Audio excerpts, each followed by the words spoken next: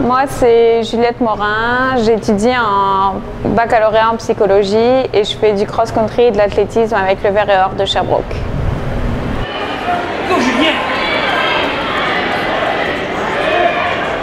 Pas vraiment, vraiment d'une expérience dont je suis ultra fière là, mais je dirais que toutes mes sélections pour des championnats nationaux, que ce soit en France ou au Québec, parce que j'ai fait euh, des championnats de France et des championnats au Québec, ben à chaque fois, ça a été une surprise pour moi, puis je me suis surprise moi-même, puis euh, ben pour moi, c'est quand je m'y attends pas que je suis le plus fière. Fait je dirais que toutes mes qualifications pour des grands championnats, ça a été une belle fierté, puis euh, c'est ça que j'aime.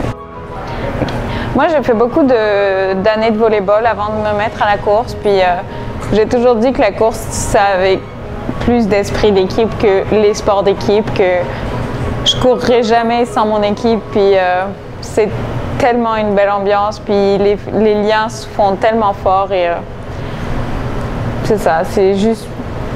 On oublie qu'on court, puis euh, on s'attache aux gens avec qui on court. Moi, la chose la plus importante pour quelqu'un qui commence la course, c'est et même quelqu'un qui continue la course après au plus haut niveau, c'est cours pour toi. Parce que tu dois rien à personne, que tout ce que tu fais, c'est pour toi. Fait prends du plaisir, puis euh, écoute-toi. Si à un moment donné, ben, tu prends plus de plaisir, comme c'est qu'il y a une raison quelque part, puis oui, pousse-toi, comme dépasse tes limites, mais écoute-toi et euh, fais-toi plaisir parce que on est.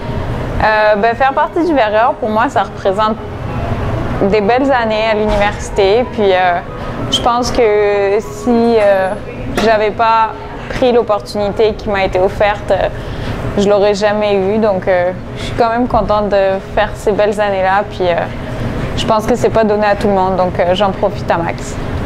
Ben, c'est ça. Pour moi, c'est grâce à l'équipe que j'arrive à, à continuer puis à persister les aux entraînements. Puis c'est grâce à elle que je performe parce que ben, tu sais, quand tu es deux à un entraînement, ben, tu souffres, mais tu vois que l'autre aussi souffre, puis que si elle, elle y arrive, pourquoi toi, tu n'y arriverais pas? Puis c'est ça qui permet de pousser à bout, puis euh, si tu es toujours tout seul, ben, c'est plus facile d'abandonner. Puis euh, c'est en vivant des moments forts aussi qu'on se rapproche des gens, puis que on, a, on est tous des athlètes, donc on a pas mal une philosophie de vie qui se ressemble, puis euh, c'est quelque chose qui compte beaucoup. Donc, euh, on s'attache beaucoup, beaucoup aux gens avec qui on fait du sport.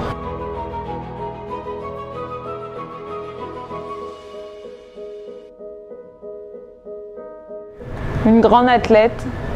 Euh, je pense notamment à Cassandre Beaugrand, une championne de France que je suis beaucoup. Euh, c'est Waving Flag, ça s'appelle. C'est une musique qui a été faite euh, pour la Coupe du Monde de football en France. Puis euh, elle motive les gens à encourager. Puis j'écoutais ça en boucle pendant de nombreuses compétitions.